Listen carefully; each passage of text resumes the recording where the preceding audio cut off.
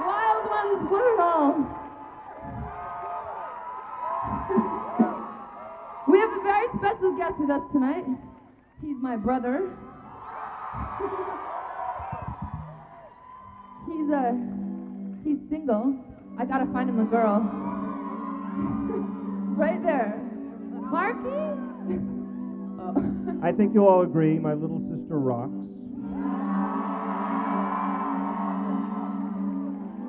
To say the name of his book, House of Leaves, which is the most amazing thing I've ever read.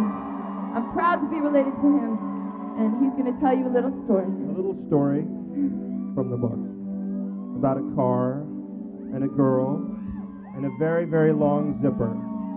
So let's get there.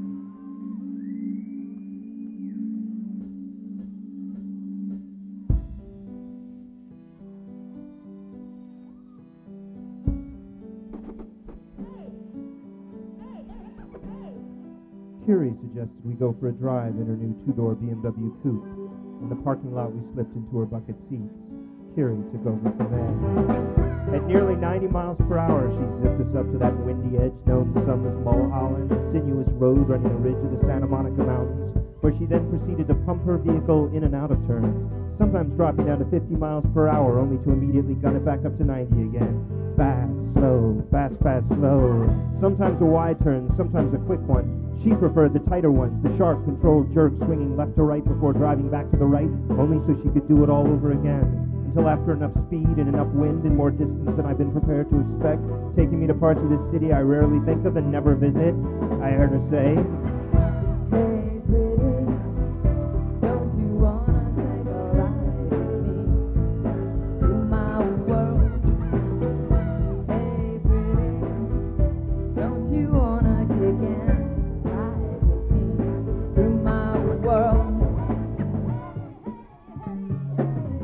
can't remember the inane things I started babbling about then. I know it didn't really matter. She wasn't listening. She just jerked up on the emergency brake, dropped her seat back, and told me to lie on top of her, on top of those leather pants of hers, her hands immediately guiding mine over those soft, slightly oily folds, positioning my fingers on the shiny metal tabs, small and round like a tear, and murmuring a murmur so inaudible that even though I could feel her lips tremble against my ear, she seemed far, far away.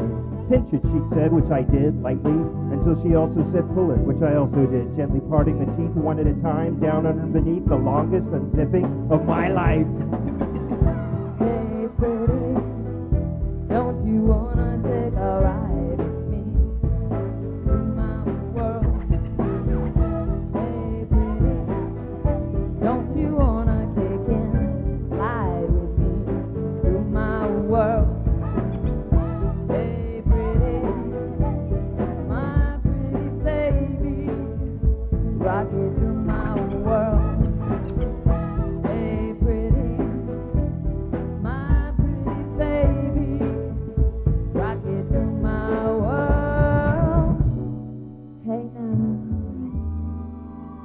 Can't you feel me longing? You get the gist of the song now. Just the song now. Hey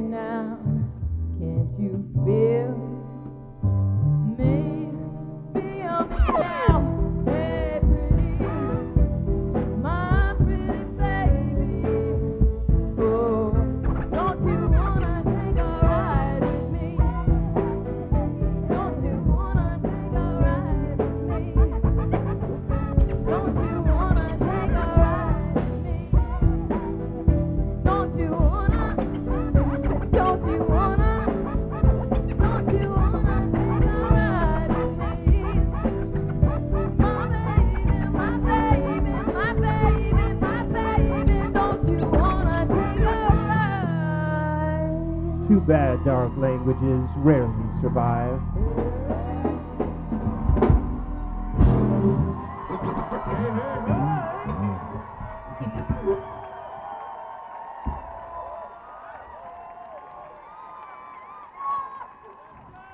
That's my big brother. He rocks my world.